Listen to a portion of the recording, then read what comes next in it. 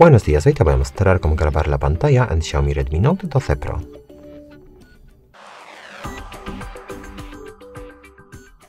Para eso hay que abrir el centro de control de esta manera. Y aquí buscamos el icono de, grabar, eh, de grabadora de pantalla.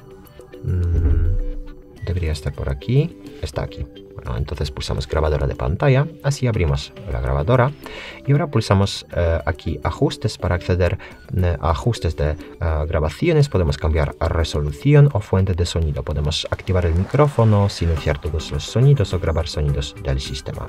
Después de eso salimos de aquí e iniciamos grabación de esta manera. Y está el dispositivo ya está grabando. Aquí detenemos la grabación, cerramos la grabadora y para ver la grabación buscamos la aplicación Galería. Luego podemos pulsar aquí arriba Álbumes, luego Carpeta Vídeos y el vídeo de la pantalla se encuentra aquí.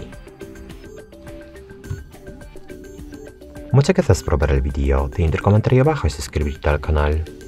Hasta luego.